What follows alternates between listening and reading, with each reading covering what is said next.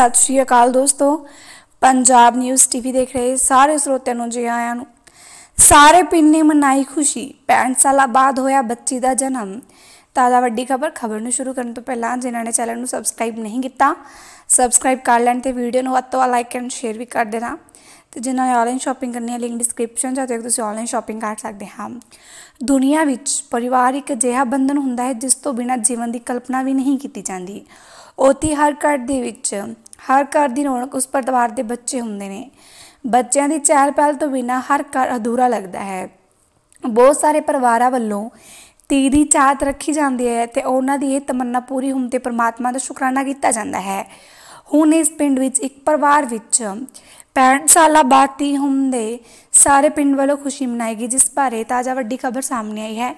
ਪ੍ਰਾਪਤ ਜਾਣਕਾਰੀ ਦੇ ਅਨੁਸਾਰ ਇਹ ਘਟਨਾ ਮੋਗਾ ਜ਼ਿਲ੍ਹੇ ਦੇ ਪਿੰਡ ਕੋਲੀਆਂ ਕਲਾਂ ਦੇ ਇੱਕ ਪਰਿਵਾਰ ਤੋਂ ਸਾਹਮਣੇ ਆਈ। ਜਿੱਥੇ ਇੱਕ ਪਰਿਵਾਰ ਵਿੱਚ 65 ਸਾਲ ਬਾਅਦ ਧੀ ਨੇ ਜਨਮ ਲਿਆ। ਇਹ ਖੁਸ਼ੀ ਨਾਲ ਸਾਰਾ ਪਰਿਵਾਰ ਹੀ ਨਹੀਂ ਸਗੋਂ ਸਾਰੇ ਪਿੰਡ ਵਿੱਚ ਖੁਸ਼ੀ ਦੀ ਲਹਿਰ ਫੈਲ ਚੁੱਕੀ ਹੈ। ਧੀ ਦਾ ਜਨਮ ਹੋਣ ਤੇ ਪਿੰਡ ਵਿੱਚ ਇਸ ਪਰਿਵਾਰ ਦੀਆਂ ਔਰਤਾਂ ਤੋਂ ਇਲਾਵਾ ਪਿੰਡ ਦੀਆਂ ਔਰਤਾਂ ਵੱਲੋਂ ਸੇਰੇ ਬਣ ਕੇ ਵਾਹਿਗੁਰੂ ਨੂੰ ਬਖਸ਼ੀਦਾਤ ਦੀ ਖੁਸ਼ੀ ਮਨਾਈ ਗਈ। ਲੇਖਕ ਕੁਲਵੰਤ ਕੋਲੀਆ ਨੇ ਘਰ ਜਨਮੀ ਉਹਨਾਂ ਦੀ ਧੀ ਦੇ ਆਉਣ ਤੇ ਖੁਸ਼ੀ ਪੁੱਤਰਾਂ ਦੇ ਜੰਮਣ ਮੌਕੇ ਹੁੰਦੀ ਰੀਤੀ ਰਿਵਾਜਾਂ ਵਾਂਗ ਕੀਤੀ ਗਈ। ਇਸ ਧੀ ਦੇ ਅਰਮਾਨ ਤੇ ਸਾਰੇ ਰੀਤੀ ਰਿਵਾਜ ਪੂਰੇ ਹੋਏ।